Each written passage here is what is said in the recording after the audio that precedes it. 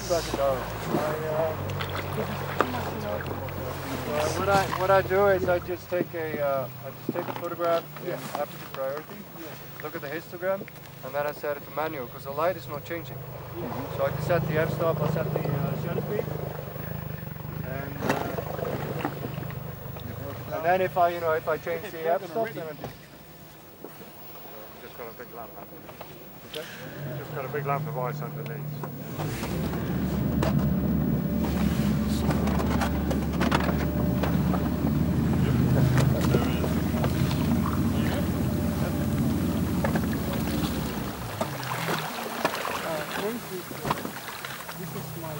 Right.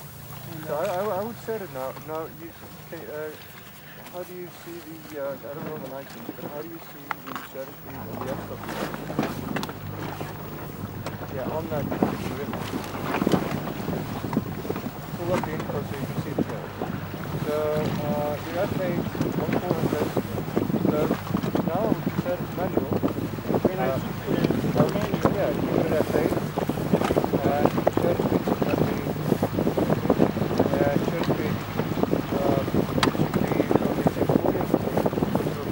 buy it so 400, you can go down to 200, put it on uh, shutter speed 500, f8, do a shot. Well, if you want to hang over the bow, there's Scott in there. 500. Scott?